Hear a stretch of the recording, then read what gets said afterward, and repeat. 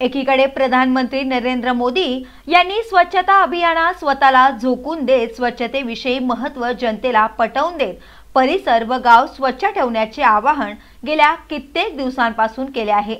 त्यांच्या आवाहनाला ग्रामीण भागातील जनतेनेही चांगल्या प्रकारे प्रतिसाद देत आपल्या परिसरातील स्वच्छता केली.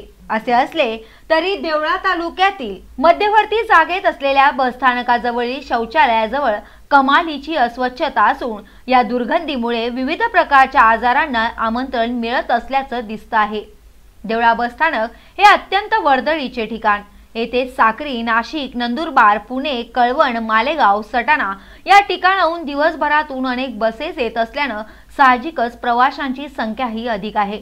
परंतु राज्य महामंडळाच्या प्रवाशांच्या सेवेसाठी हे ब्रीद वाक्य असलं तरी देवळा बस स्थानकावर असलेली अस्वच्छता बघून हे ब्रीद चुकीचे असल्याचं लक्षात येत आहे कारण देवळा येथील नगर पंचायतीनं व काही समाजसेवकांनी याबाबत सटाणा आगाराशी अनेकदा निवेदन देऊन या शौचालयाच्या दुर्दशेबाबत कल्पना दिली असतानाही आगार व्यवस्थापन काही एक दखल घेत नसल्याचं लक्षात आलंय. शौचालयाचा वापर करण्यासाठी जे प्रवासी जातात ते या दुर्गंधीमुळे नाकाला रुमाल लावूनच बाहेर येतात. यावरून परिसरात किती दुर्गंधी आहे हे लक्षात येते. हा त्रास नुसता प्रवाशांनाच नाही तर आजूबाजूला असणाऱ्या व्यावसायिकांना देखील कमालीचा त्रास सहन करावा लागत असून यामुळे भविष्यात अनेक मोठे साथीचे आजार देखील होऊ शकतात. त्यामुळे राज्य महामंडळाने शौचालय लवकरात लवकर दुरुस्त करून प्रवाशांच्या जीवाशी खेळणे टाळावे नाहीतर देवळा नगरपंचायतीच्या सार्वजनिक शौचालयाची चांगल्या प्रकारे स्वच्छता असून सटाणा आगार व्यवस्थापनाने देवळा बसस्थानकावरील शौचालय हे देवळा नगरपंचायतीकडे वर्ग करण्यात यावे अशी मागणी प्रवासी वर्गाकडून होते आहे. गेल्या दहा बारा वर्षापासून म्हणजे दोन हजार नऊ पासून मी मागे सरपंच होतो. ग्रामपालिकेच्या माध्यमातून पण संबंधित विभागाकडे ग्रामसभेचे ठराव करून या शौचालयाची जी दुरावस्था झाली या संदर्भात दुरुस्तीची मागणी केली.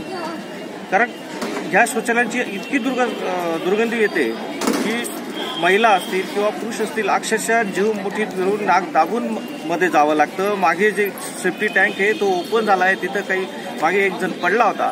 जर आता आता पण अशीच परिस्थिती आहे. मागे पूर्ण महिला साचलेला आहे. माणूस मागे गेला तर तो एक मिनिटात त्या महिन्यात गायब होऊन जाईल. इतकी भयानक आणि इतकी बिकट अशी ही देवळा बस स्थानकाच्या शौचालयाची परिस्थिती आहे.